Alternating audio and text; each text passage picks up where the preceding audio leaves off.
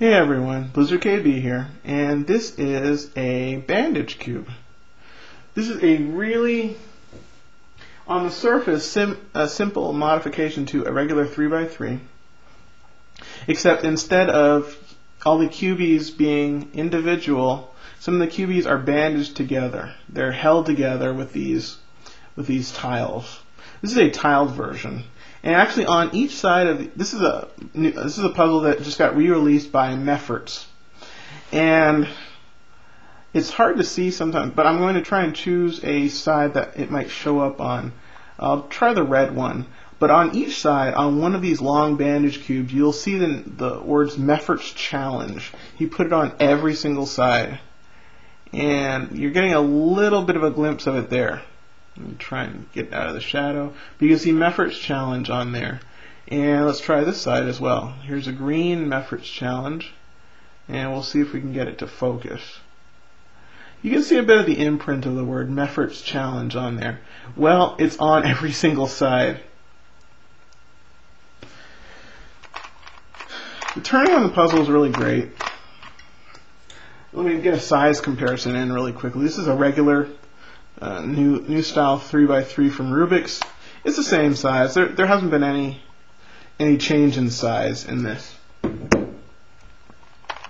But the problem with solving a puzzle like this is that some turns that you would like to make, you can't make anymore. For example, if I was to turn this side 180 degrees, and then I try and turn across, I can no longer do it because these two pieces are joined together. So you not only have to solve it, but you have to figure out a way to move the pieces because sometimes the pieces will move and sometimes they will not be able to move. So you'll have to figure out some other move that can be made in the meantime.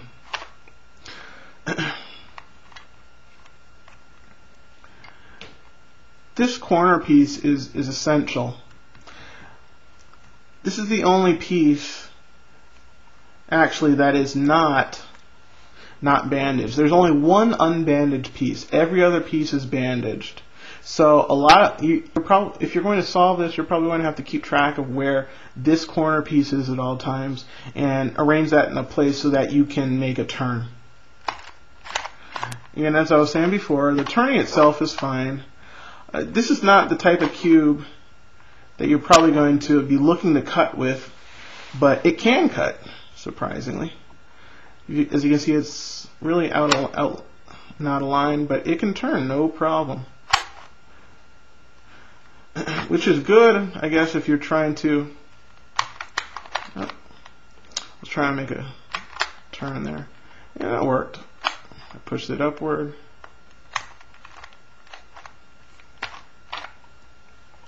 In any case, this puzzle used to be offered from Mefferts a long time ago, and he has recently re-released it. So, and it has tiles as well. So enjoy. Again, this is Blizzard KB.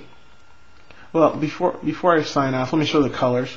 There is yellow, green, orange, blue, white, and on the opposite side, red. And again, each side has that Mefferts challenge on it. And the turning is really great. It's a nice puzzle. If you're interested in solving a 3, 3 by 3 but a different challenge, then this is the one that you want. Again, I am Blizzard KB, and this is a Bandage Cube.